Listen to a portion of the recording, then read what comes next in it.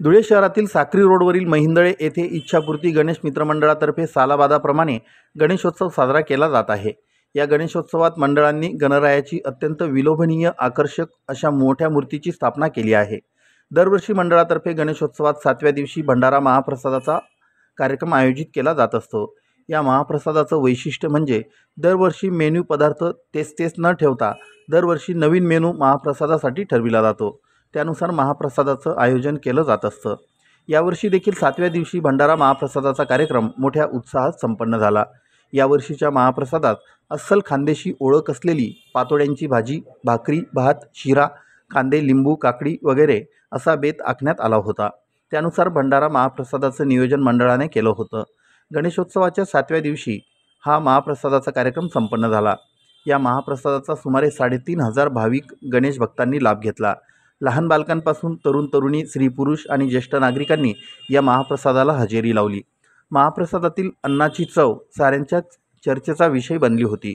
या कार्यक्रमाच्या यशस्वीतेसाठी इच्छापूर्ती गणेश मित्र मंडळाचे ज्येष्ठ सल्लागार ज्ञानेश्वर नारायण बुवा कोमलसिंग खंडू राजपूत वसंत श्रावण मराठे मंडळाचे अध्यक्ष पियुष वसंत मराठे कार्याध्यक्ष विनोद राजपूत उपाध्यक्ष तुषार सिंग उर्फ गोपी राजपूत खजिनदार रुपेश राजपूत व्यवस्थापक अविनाश राजपूत सल्लागार भूषण गोसावी सचिन मोरे सोशल मीडिया प्रमुख सागर राजपूत प्रमुख कार्यकर्ते अजय राजपूत पंकज राजपूत भूषण राजपूत अभिजित परदेशी प्रवीण राजपूत राहुल पवार सोनू वाडिले गोलू वाडिले रवी तात्या इत्यादींनी अथक परिश्रम घेतले.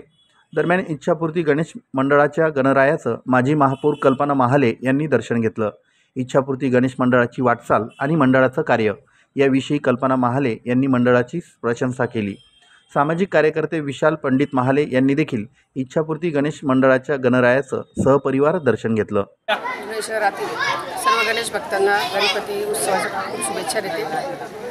आज या ठिकाणी इच्छापूर्ती गणेश मित्रमंडळाला या ठिकाणी मी भेट दिली आहे. या ठिकाणी भेटून खरंच मला खूप मनस्वी आनंद झालेला आहे. अतिशय चांगल्या पद्धतीने या ठिकाणी या मित्रमंडळाचं कार्य चालू आहे. गेले तीस वर्षापासून अनेकानेक असे समाज उपयोगी असे कार्यक्रम ते घेत असतात. सर्वात महत्त्वाचं म्हणजे महिलांसाठी ज्या काही स्पर्धा असतील आपल्याला लोकमान्य बाळगंगाधर टिळकांनी गणपती उत्सव हा सार्वजनिक ठिकाणी घेण्याचं महत्त्व त्याचा उद्देश हाच होता की समाजातील प्रत्येक व्यक्ती त्या ठिकाणी एकत्र येऊन त्या ठिकाणी नवीन काहीतरी कार्य करतील आणि त्यांच्या विचारांची देवाणघेवाण होईल.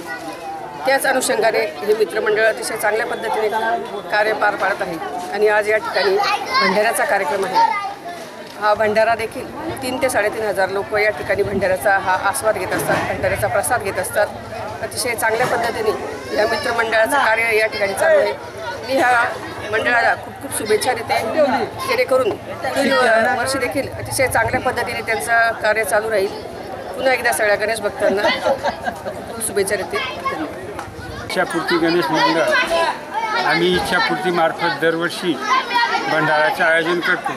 साधारणतः अडीच ते तीन हजार लोकांचा आमचा भंडारा राहतो. आणि भंडाराला सर्व मंडळी आमची कॉलनीतील एरियातील सर्व नागरिक मदत करतात.